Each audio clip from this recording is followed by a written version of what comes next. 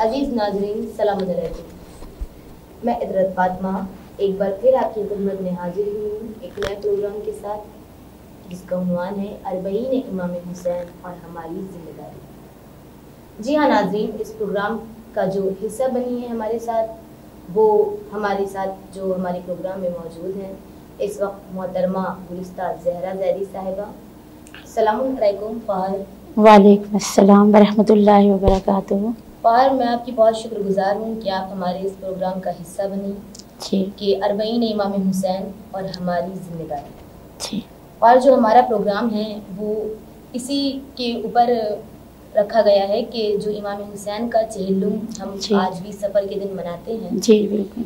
तो उसमें हमारी ज़िम्मेदारी क्या है और अरबईन क्या है इस बारे में हम आपसे सवाल करेंगे। तो पहाड़ जो मेरा सवाल है आपसे वो सबसे पहले तो ये है कि ये जो लफ्ज़ अरबईन है ये इसके मायने क्या हैं? और जो इसका इंतखाब हुआ वो कैसे हुआ? ये आप हमारे नाजरीन को बताएँ इस बारे में। जी बिल्कुल बेहतर है। अउज़बिल्लिमिनशैतानरजीम बिस्मिल्लाहिर्रहमानिर्रहीम। आ, जो आपने सवाल किया है आ, कि ये अरबईन के मानी क्या हैं? तो देखिए अरबईन के मानी जो है दो मानी निकलते हैं। और एक तो अरबी जो मानी उसके हैं अरबईन के तो वो चालीस होते हैं, चालीस के होते हैं। और दूसरे अरबईन हुसैनी, ठीक है? तो जो चालीस, क्योंकि जो इमाम हुसैन सलाम की जो शहादत हुई है, वो दस मुहर्रम को हुई है। उसके बाद का बीच का जो वक्फा होता है, फिर जो बीस सफ़र तो जो उनतालीसवें दिन के बाद जो दिन, जो आता है रोज़, यानी चालीसवां तो वो इमाम हुसैन सलाम का चेलो मनाते हैं, जिसे हम अरबईन भी कहते हैं। और दूसरा ये कि अरबईन हुसैनी क्योंकि इमाम हुसैन सलाम का ये चेलो हम सब मनाते हैं उनकी याद में मनाते हैं। जी बहरहाल चालीस जो दिन चालीस जो रखा गया ये अरबईन के मानी भी चालीस हैं तो काफ़ी क्योंकि चालीस के देखिए कभी भी आ, जो हमारे अम्बिया गुजरे हैं तो उनको भी कहीं ना कहीं चालीस साल की उम्र पे ही उनको जो फजीलत अता की गई है या जो मंजिलत अता की गई है या हम कोई अमल करते हैं या कोई दुआ पढ़ते हैं तो उसमें भी चालीस का जो अदद है वो काफ़ी माने रखता है। अब जैसे कि अ, मिसाल के तौर पे ज़्यारत आशुरा को ले लीजिए। तो ज़्यारत आशुरा को ऐसे तो आप रोज़ पढ़ सकते हैं कोई उसमें वो नहीं है। आप पढ़िए बिल्कुल पढ़िए परेशानियाँ मुश्किलात जो भी है उसकी दूर होती। लेकिन अगर आप किसी मकसद के तहत आप पढ़ रही हैं तो अ, उसके लिए यह है कि आप कम से कम कंटिन्यू चालीस चालीस दिन पढ़ें। तो इसलिए चालीस का जो अदद है वो और क्योंकि जो है चालीस चालीसवां इमाम मजलूम है करबला का लिहाजा जो है चालीस दिन के ऊपर रखा गया है तो अरबईन इसलिए इसके मानी है इसलिए कहते हैं अरबईन कहते हैं। जी।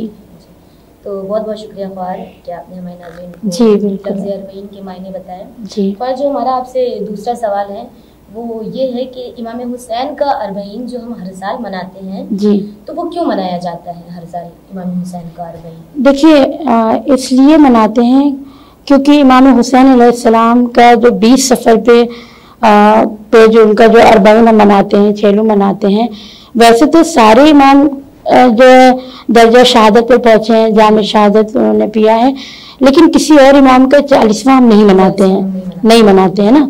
लेकिन सारे इमाम ने सारे मासूमीन ने इमाम हुसैन सलाम के चेलुम के लिए उनके अ, अरबईन के लिए ज़्यादा ताकीद भी की है उसका अहतमाम भी किया है। और क्योंकि इमाम हुसैन सलाम ने इतनी अजीम कुर्बानी पेश की है मतलब रहती दुनिया तक जिसकी कोई मिसाल नहीं है। ना कोई अब अब दे सकता है ना पहले कोई दे सकता था लिहाजा इमाम हुसैन ने जो कुर्बानी पेश की है तो वैसे कुर्बानी किसी ने नहीं पेश की। लिहाजा इमाम हुसैन आसमाम का जो ये अरबईन है, वो हम सब बहरहाल मनाते हैं। जी, इस वजह से मनाते हैं। जी। माशाल्लाह और आपने अच्छा बताया जो भी बताया कि इसलिए हम हुसैन को अरबईन मनाते हैं। जी जी। और जो हमारा सवाल आगे आपसे है वो ये कि जो लोग नजब से करबला जाते हैं पैदल सबसे पहले तो मैं दुआ करूँगी कि हम सबको ही बिल्कुल। परवरदिगार इंशाल्लाह। पैदल सफ़र करने का इंशाल्लाह। अता करे। जी तो जो लोग नजब से करबला लोग मशी करते हैं जी जी। इसका आगाज़ जो हुआ वो कब से हुआ और किसने किया इसका आगाज़? देखिए पहले क्या होता था कि जब का- जाते थे हज करने के लिए लोग तो पैदल जो है हज के बहुत सवाब है। पैदल करने का और तमाम जो अम्बिया हैं या जो मासूमीन अलैहिस्सलाम है उनके बारे में मिलता है कि पाप यादा जाके उन्होंने मतलब सवारी होते हुए सवारी होते हुए भी उन्होंने मतलब पैदल जाना उन्होंने ज़्यादा बेहतर समझा। इसका सवाब बेहद है। और इमाम हसन अलैहिस्सलाम के बारे में मिलता है कि बीस हज उन्होंने पाप यादा किया था। तो अ, मतलब उसका लेकिन इसकी जो शुरुआत आपने पूछी है कि इसकी शुरुआत कब हुई या कैसे तो शुरुआत अगर देखें तो अरबईन का रोज था यानी पहले जो ज़ाहिर इमाम है वो जाबिर इब्न अब्दुल्ला अंसारी कि जिनके ज़रिए से हम सब तक ये हदीसी किस्सा जिसकी हम सब तिलावत करते हैं वो हम तक पहुँची है। तो जाबिर इब्न अब्दुल्ला अंसारी यही वो रोज था। अरबईन का रोज था कि जब जनाब जाबिर करबला आए थे और जब वो पहुँचे थे तो बहुत ही गिरियाजारी किया था और सबसे पहले पहुँचने के बाद उन्होंने नहर फरात से गसल किया था। फिर एक उनका पाकिजा लिबास था, वो उन्होंने जेबतन किया था और उनके साथ ही जो अतिया, उनके साथ थे, वो उनको लेकर गए तो कब्र इमाम हुसैन पे खुद को उन्होंने गिराया और बहुत रोए इतना ज़्यादा गिरिया किया कि गश खा गए थे। ठीक है? और उसके बाद जब उनको गश से फाका हुआ तो उसके बाद उन्होंने आ, बहुत गिरिया करना शुरू किया। मसायब इमाम हुसैन बयान करना शुरू किया और उसे गुफ्तगू करना शुरू की। तो पहले जो ज़ाहिर इमाम अगर देखें तो जनाब जाबिर इब्न अब्दुल्ला अंसारी हैं। और हम अहल हरम को भी फरामोश नहीं कर सकते। कि जिस वक्त रिहाई का हुक्म मिला है और ये ये हुआ कि अब आप यहाँ रहें या अपने वतन जाएँ मदीने। तो शहजादी जनाब जैनब अलैहा कि उन्होंने मतलब एक तरह से ये ख्वार इमाम हुसैन की यादगार भी है है ना अरबाइन शहजादी जनाब जैनब इमाम सज्जाद को हम फरामोश नहीं कर सकते कि जब ये रिहाई का हुक्म मिला है तो जनाब जैनब अलैहा ने फरमाया कि मेरे लाल सज्जाद, मैं ये चाहती हूँ कि मैं बरह रास्त मदीने न जाके मैं करबला होकर जाऊँ। ये काफिले को करबला लेकर चलो, ताकि एक मरतबा हम सब फिर से अपने वारिसों को रो सकें और अपने भाई से रुख्सत हो सकें। तो खैर, इसके बाद ये काफिला आया है अरबईन का रोज था। है ना? यही रोज था। और ये काफिला जब अरबईन में पहुँचा, अहल हरम का काफिला तो बीबियों पे बहुत ही गैर हालत थी, क्योंकि ज़ाहिर सी बात है कि सामने अपने वारिसों की कब्रें ढेर मौजूद थे खबरों के। बीबियों ने अपने आप को खबरों के ढेर पर गिराया, गिरिया किया। और शहजादी जनाब, जैनब अलैहा के बारे में मिलता है कि उन्होंने खुद को अमारी पर से गिरा दिया। और गिराने के बाद वो घुटनियों के बल चलती हुई कब्र इमाम हुसैन पर आई और आने के बाद भाई की कब्र से लिपट के बहुत गिरिया किया बहुत बैन बैन किया रोई और जो, जो मुसीबतें उनके ऊपर गुजरी थी वो तमाम मुसीबतें अपने भाई से उन्होंने बयान की और फिर तारीख में मिलता है कि मैं इसके आगे बयान करूँ कि कब्र इमाम हुसैन से एक आवाज़ आई थी कि बहन मेरा एक ज़रूरी काम करना है अभी बाकी है। शाहजादी ने सवाल किया था कि भाई कौन सा सवाल कौन सा काम ऐसा है कि जो अभी आपका रह गया है? तो इमाम हुसैन इमाम मजलूम करबला ने फरमाया था कि जब मैं चला था मख्तल के लिए आखिरी वक्त था तो मैंने अपनी बेटी सकीना को खुद अपने हाथों से तस्वीर यतीमी बनाया था। लेकिन अब जबकि ये काफिला जब तुम पहुंचोगी कर मदीने पहुंचोगी तो वहाँ पर मेरी बेटी सुगरा जनाब सुरा को हम फरामोश नहीं कर सकते कि जो अपने बाबा का इंतज़ार कर रही थी, काफिले को लौटने का इंतज़ार कर रही थी। तो फरमाया कि जब ये पहुँचना वहाँ पे तो मेरी बेटी सुगरा मेरा इंतज़ार कर रही होगी तो उसको पहुँच के तस्वीर यतीमी बना देना। क्योंकि मैं नहीं हूँगा तो मेरा ये फ़र्ज़ तुम्हें अदा करना है, तुम्हें इस ज़िम्मेदारी को पूरा करना है। तो बहरहाल ये जो शुरुआत हुई है तो पहले जार इमाम अगर कहें तो जनाब जाबिर इब्न अब्दुल्ला अंसारी हैं और अहले हरम का काफिला है। इमाम सज्जाद जनाब जैनब को हम फरामोश नहीं कर सकते कि जो लोग अरबईन के रोज, जो आज ही के रोज मतलब अरबईन के रोज जो लोग वहाँ पर करबला पहुँचे थे। जी, और उसके बाद से मुसलसल। तो नाजरीन, जैसा कि आपने देखा कि जो ये लोग उससे पहले मतलब से करबला पैदल जाते हैं। जी। तो वो इस वजह से जाते हैं और इसका आगाज़ कहाँ से हुआ? जी। इसको जाबिर बिन अब्दुल्ला अंसारी ने इसका आगाज़ किया और खुद पैदल आए इमाम हुसैन के कब्र की जियारत करने के लिए। तो पहले जो ज़ायर थे वो जाबिर बिन अब्दुल्ला जी जी जी। माशाल्लाह। तो फहर जो हमारा अगला सवाल है वो आपसे ये है कि आखिर क्या वजह है कि जो पूरी दुनिया चाहती है? क्योंकि ऐसे तो सबके दिल में तमन्ना होती है जी, बिल्कुल। हुसैन के रोज़े की जियारत जी। जी जी। लेकिन अक्सर लोग ये चाहते हैं कि हम अरबईन के वक्त पे इमाम हुसैन के रोज़े पे जी जी जी। तो क्या वजह है कि लोग अरबईन में करबला जाना चाहते हैं? ऐसी क्या वजह है? खैर इसकी वजह ये है कि अरबईन करबला में करना तो एक बहुत बड़ी किस्मत की बात है। दूसरी चीज़ ये है कि जितना सवाब हमें वहाँ जाके जो अरबईन में हम रोज़े इमाम हुसैन पे पहुँच के करबला पहुँच के जो सवाब है उसका सवाब यहाँ पे बैठ के मतलब बहरहाल जो मुश्किल है नहीं जा पा रहे हैं वो अलग एक मसला है। लेकिन जो वहाँ का सवाब है उतना सवाब यहाँ नहीं है। तो लोग कोशिश करते हैं वहाँ पहुँचने की। दूसरा जो मेरा नज़रिया है वो ये कि अ, हमारे मतलब हम ये कहते हैं हम अजादार तमाम लोगों के, तमाम अदादारों की तरफ़ से है कि मौला उस वक्त जब आपने वहाँ पे आवाज़ दी थी हलमिन नासिर सुरना ठीक है? तो उस वक्त कोई नहीं था, सब शहीद हो चुके थे। तो आज हमारी ये कोशिश होती है कि मौला हम किसी भी तरह से वहाँ पे खुद को पहुँचा दें। आप कल तनहा थे आज इतने सारे, माशाल्लाह, वहाँ पर ज़ायरीन हैं कि जो पहुँच रहे हैं, कितने काफिले पहुँच चुके हैं, कितने बाकी हैं, लोग जा रहे हैं। तो अपने को पहुँचाने की कोशिश करते हैं और कहीं ना कहीं आप देखें कि इमाम हुसैन की ये मजलूमियत है कि लोग खिंचे हुए वहाँ पे चले जाते हैं, खिंच के वहाँ पे जाते हैं। और दूसरे, इमाम हुसैन ने इंसानियत को ज़िंदा किया। यही वजह है कि आज आप देखें कि करबला कि, किसी कौम मज़हब के मोहताज नहीं है। ये ऐसा नहीं है कि हम जायरीन हैं या हम अजादार हैं हम मौला के चाहने वाले हैं तो सिर्फ़ हमारे ही हक हैं हम ही पहुँचे।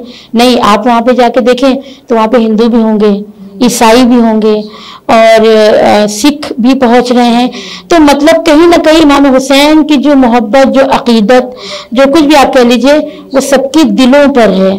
तो सब पहुँचने की कोशिश करते हैं चाहे वो हमारे मज़हब से ताल्लुक रखते हों या ना रखते हों लेकिन करबला देखिए आप वहाँ पे तो नज़ारा कुछ अलग ही होता है कि जी सब पहुँचने की कोशिश कर अभी हम यहाँ पे एक आपको रोक करके सवाल करना चाहेंगे जी, बिल्कुल। टाइम पर बिल्कुल अ, पे जाना या जियारत के लिए जाना मना कर दिया गया था। जी, जी। इस बार जो लोग जा रहे जी, हैं जी। उनके बारे में आप क्या कहना चाहेंगे देखिए कोविड के टाइम पे तो काफ़ी मतलब पाबंदियाँ लग गई थी लोग नहीं जा पा रहे थे इतनी ज़्यादा बीमारी फैली हुई थी उसका खतरा था बहुत सारे वहाँ पे पाबंदियों की वजह से लोग नहीं पहुँच पा रहे थे लेकिन अब की इस साल इसलिए भी जा रहे क्योंकि कहीं ना कहीं एक चीज़ होती है हम ये देखते हैं कि जब किसी चीज़ से पाबंदी लग जाती है है ना? तो फिर और दिल जैसे चाहता है कि हम कैसे इन पाबंदियों को तोड़ के हम वो चीज़ करें या वहाँ पहुँचे हो तो इस बार जो हर साल की मुनासिबत से, हर साल से ज़्यादा जो मजमा जा रहा है मतलब हम गिनती नहीं कर सकते हैं, जो भी वहाँ से आ रहा है, जो कि करोड़ों की तादाद में, कितने करोड़ है, मैं नहीं बता सकती, लेकिन बहरहाल अभी वहाँ कितने सारे मौजूद हैं, कितने सारे काफिले जा रहे हैं, कितने जाने के लिए तैयार हैं, होटल फुल हो चुके हैं वहाँ पे, जगह नहीं है, लेकिन उसके बावजूद आप देखें, कहीं से कोई कमी नहीं है। और ये मौला का एजाज है मोजिजा है, और दूसरी चीज़ मैं ये कहना चाहूँगी कि करबला की जो ज़मीन है, जो एरिया है वो कहीं से बढ़ नहीं रहा है। भाई वो तो उतना ही का उतना है ना कि एरिया तो नहीं बढ़ रहा है ज़मीन तो नहीं बढ़ रही है। लेकिन ये इमाम हुसैन अलैहिस्सलाम का मोजिजा है कि इतने करोड़ की तादाद में लोग वहाँ पर पहुँच रहे हैं। अभी भी काफिले जो रास्ते में हैं जो पहुँचने वाले हैं जो जा रहे हैं ले, लेकिन कहीं पर भी पाबंदी नहीं है। आप देख रहे होंगी कि कहीं पर पाबंदी नहीं लगाई कि नहीं अब- स्टॉप यहाँ से इतने नहीं आ सकते। क्योंकि हम अफोर्ड नहीं कर सकते इतने नहीं। और माशाल्लाह से ये वहाँ का मौजूदा एजाज है कि खाने पीने की कोई कमी नहीं रहने की कोई कमी नहीं। रास्ते में अभी तक तो कहीं से भी नहीं सुना कि कोई कुचल के मर गया हो किसी को कोई भूख से मर गया हो किसी को खाने को नहीं मिल रहा हो तकलीफ़ हो रही हो। मतलब हर चीज़ या आप चल रहे रास्ते में आ, मैंने तो मैं नहीं गई हूँ जियारत के लिए। बहुत तमन्ना दुआ करें। और उन लोगों के लिए खसूसी दुआ है कि जो लोग तड़प रहे हैं, वतन में रह के वहाँ पे नहीं पहुँच पा रहे हैं, उन सब के लिए दुआ है कि सारी मुश्किल और परेशानियाँ राह की रुकावटें ख़त्म हों और वो सब जल्द से जल्द इन इस साल नहीं तो अगले साल ज़रूर जाना नसीब हो। तो आ, कहते हैं कि जब आप रास्ता चल रहे हैं वहाँ पे और आपके दिल में कोई ख्वाहिश आई कि मेरा ये चीज़ खाने का दिल चाह रहा है ये पीने का दिल चाह रहा है तो आप अगले कदम आप आगे बढ़ते हैं और वो चीज़ आपको मिल जाती है। तो ये कहीं ना कहीं इमाम का मुजजा है। कि आपने ख्वाहिश दिल में पैदा की, आपका दिल चाहा कि ये चीज़ मिल जाए और वो चीज़ मिल गई। कहीं से कोई कमी नहीं होती है। तो ये बहुत बड़ा मुजजा है वाकई पूरी दुनिया के लिए एक हैरान करने वाली बात है कि इतने करोड़ की तादाद करबला में मौजूद है। इतनी, उस ज़मीन के ऊपर, न ज़मीन बढ़ रही है, न एरिया बढ़ रहा है, न जगह बढ़ रही है, सब कुछ वही का वही है, लेकिन कोई पाबंदी नहीं। भाई, आप देखें, अभी कुछ भी हम कोई प्रोग्राम करते हैं, या कुछ भी करते हैं तो हम, हमें पता होता है ना कि इतना मजमा हमारा आ सकता है। उससे ज़्यादा मजमा आएगा तो नहीं हम कर पाएँगे, जगह नहीं होगी। वहाँ पे कोई पाबंदी नहीं है, कोई रुकावट नहीं है।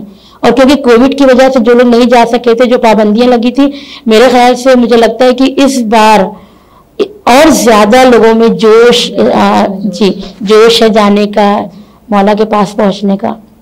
तो नाजरीन, जैसा कि आपने देखा, अभी ख्वाहा ने जो जवाब दिया, वो माशाल्लाह काबिल तारीफ़ था कि जो लोग अरवैन पे जाते हैं, उसकी वजह क्या है कि हमको इतना क्यों लगाव है? और सिर्फ़ हमको ही नहीं, हर कौम के लोगों को इमाम हुसैन से मोहब्बत है। ऐसा नहीं कि सिर्फ़ हम ही इमाम हुसैन से मोहब्बत करते हैं। किसी भी कौम का हो, किसी भी मज़हब का हो किसी मसलक का हो वो सब जो है इमाम हुसैन से अकीदत रखते हैं उनसे मोहब्बत करते हैं। इसीलिए कहा गया है कि हर कौम पुकारेगी हमारे लिए बेशक।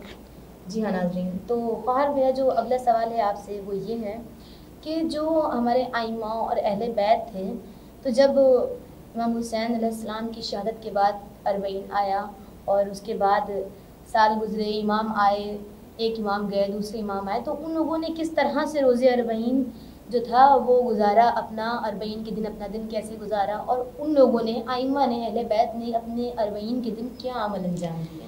इस बारे में देखिए जो वक्त गुजरा है और आइमा, और जो आप, जैसा कि आपने सवाल किया है तो उनका वक्त भी ये जो जो रोज़ होता है अरबईन का, इसमें होगा, गिरिया सारी का होता है और मजलिस मातम को तो जिस तरह से हमारे लिए हुक्म है कि हमारा भी वक्त ऐसे गुजरना है तो ज़ाहिर सी बात है कि उनके तो घर आने की बात थी, है ना, वारिस हैं वो। तो यकीनन जिनके घर की बात होगी तो उनके लिए तो हम मतलब तस्वुर भी नहीं कर सकते कि कितना ज़्यादा गम उनके ऊपर तारी होता होगा। वो वो रोज़ उनके लिए कैसे क़यामत का होता होगा, है ना?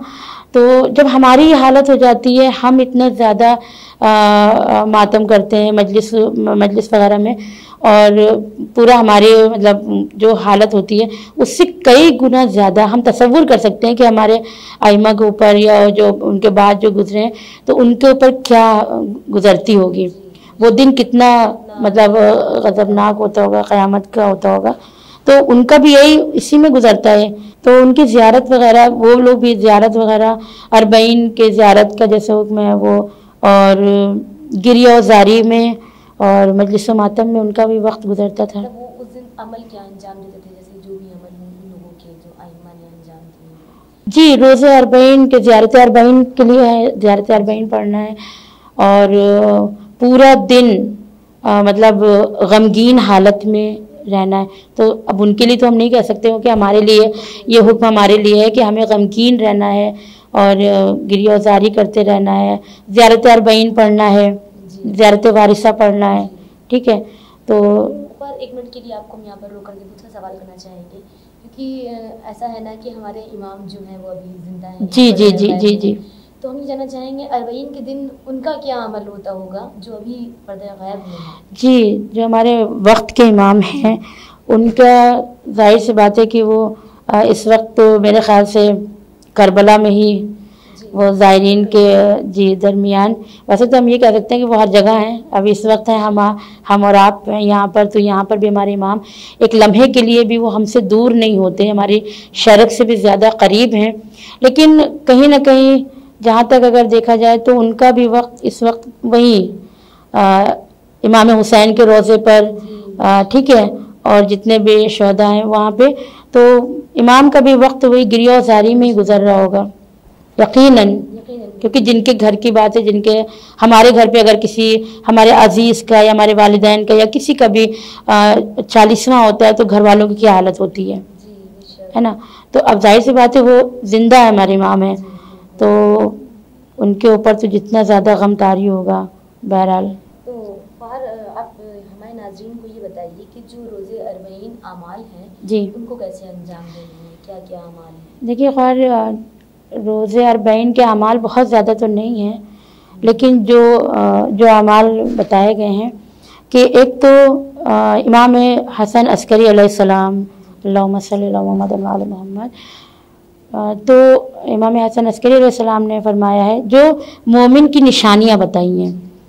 तो वैसे तो मोमिन की बहुत सारी निशानियाँ हैं बहुत सारी हैं, लेकिन उनमें से चुन के जो उन्होंने बताई पाँच निशानियाँ, खसूसन जो पाँच निशानियाँ बताई हैं तो उन पाँच निशानियों में एक निशानी रोज़ अरबईन, ज़ियारत अरबईन पढ़ना। ये तो जो इन्होंने पहली निशानी बताई वो ये कि मोमिन की निशानी ये है कि रोज़ अरबईन इमाम हुसैन की ज़ियारत करना। ये इमाम ग्यारहवें इमाम ने बताया है कि रोज़ अरबईन ज़्यारत इमाम हुसैन तो ज़ाहिर सी बात है, हम तो यहाँ मौजूद है, हम वहाँ पे नहीं हैं, लेकिन जो ज़ायरीन गए हैं, जो लोग वहाँ पे गए हैं तो वो यकीनन अरबईन के रोज़ वहाँ पे ज़ियारत करेंगे।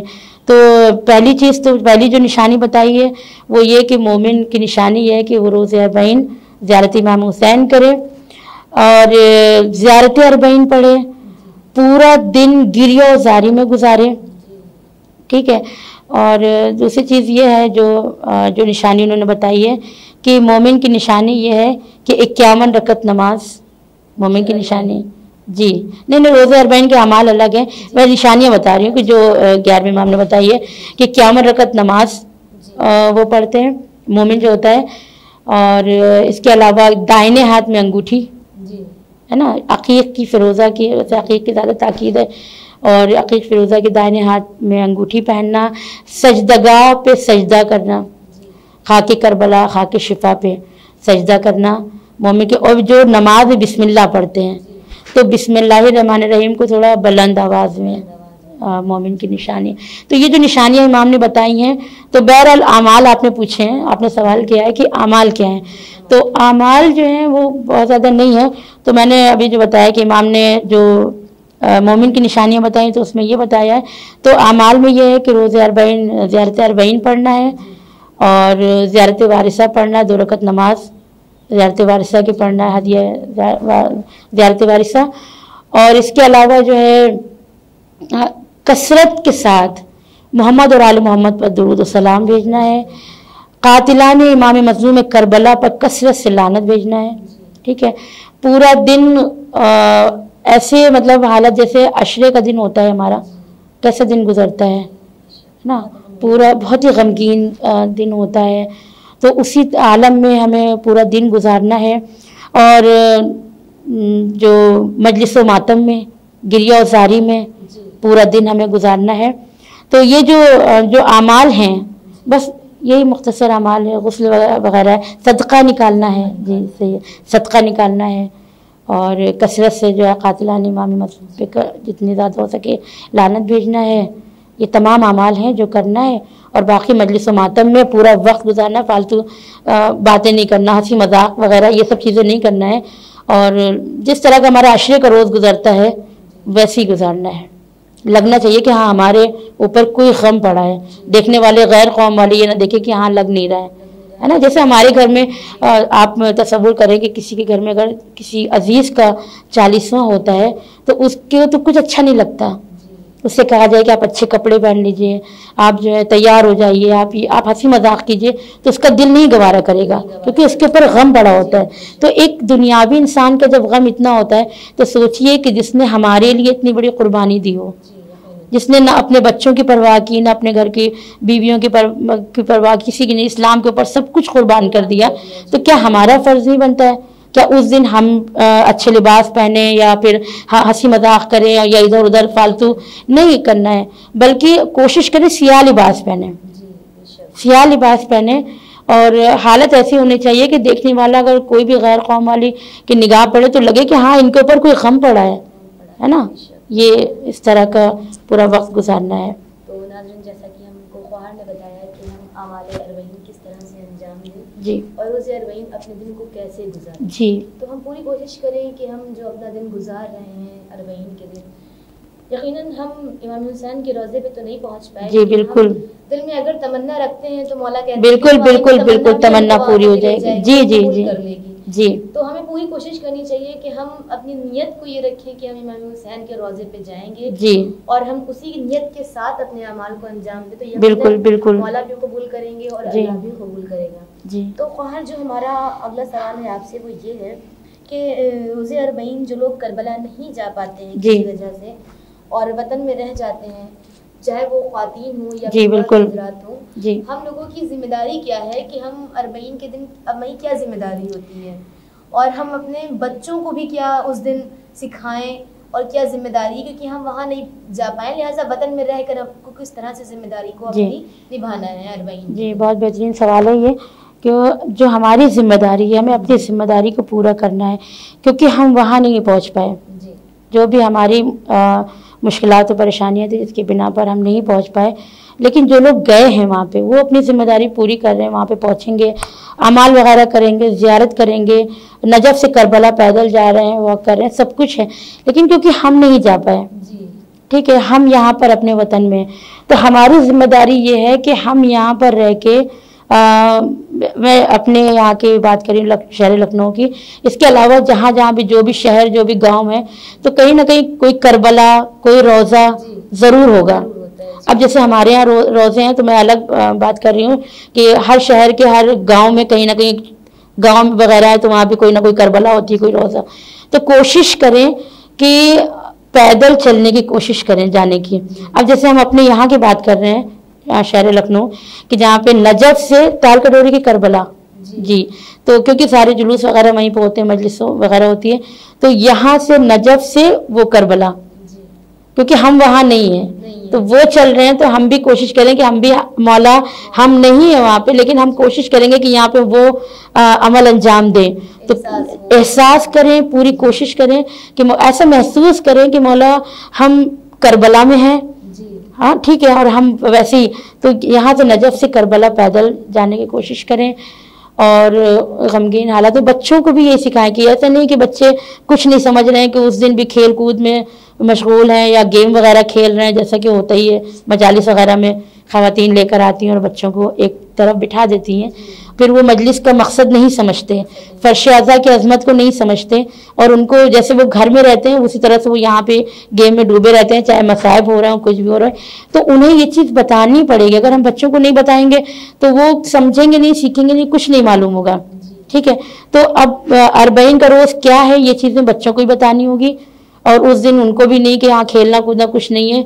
मजलिस मातम में गिरिया जारी में वक्त गुजारना है। और दूसरी चीज़, एक बहुत ही मेन पॉइंट है कि जुलूस वगैरह निकलते हैं तो जगह जगह सबीलें लगी होती हैं। पानी की होती हैं चाय वगैरह की सबील होती है। तो इस चीज़ का ख्याल करें कि जब भी सबील से चाय पिए या पानी पिए तो उसका जो डिस्पोजल वगैरह होता है, उसे इधर उधर ना फेंकें।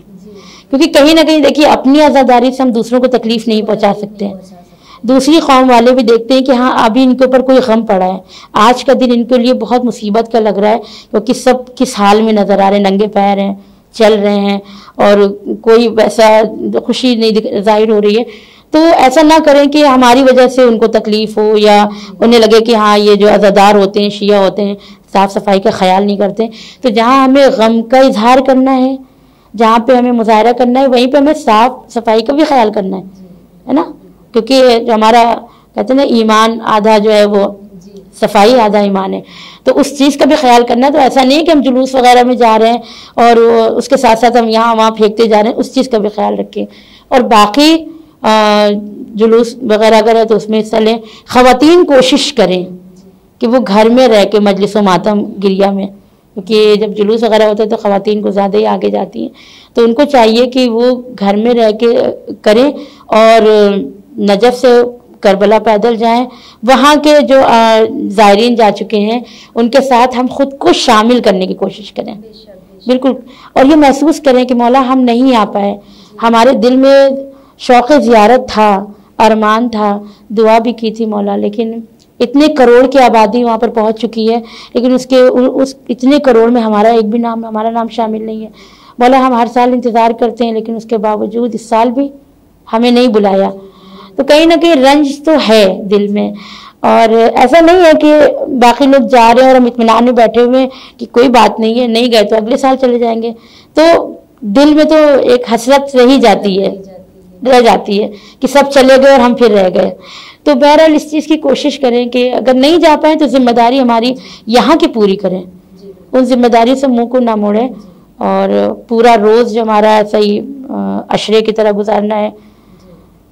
गम में, मजलिस मातम में गिरियो सारी में, इन तमाम चीज़ों में और जो अमाल हैं, वो अमाल बचा लाना है, जो भी है, ज़्यारत वारस है या ज़्यारत अरबईन है ये तमाम ज़्यारतें पढ़ना है, दो रकत नमाज़ है उसकी, उसको भी अदा करना है। बाकी जो है कसरत से कातिला ने इमाम हुसैन पर लानत भेजना है, सदका निकालना ये तमाम चीज़ें जो अमाल है वो भी करना है, इसके अलावा पूरा दिन ऐसे ही गुजारना है। मोहतरम नाजरीन तो आपने देखा कि किस तरह से कितनी खूबसूरती के साथ हमारे सवालों के जवाब को दिए। जो पार हमारे साथ इस वक्त मौजूद हैं। मैं बहुत बहुत शुक्रगुजार हूँ आपकी कि आप हमारे इस प्रोग्राम का हिस्सा बने और अपना कीमती वक्त लेकर के हमारे पास आए। बहुत बहुत शुक्रिया आपका। आपका भी शुक्रिया बहुत बहुत। तो नाजरीन इसी के साथ आप मुझको विदा दीजिए। मैं फिर आपकी खिदमत में हाजिर होंगी एक नए प्रोग्राम के साथ। असलकुम खुदा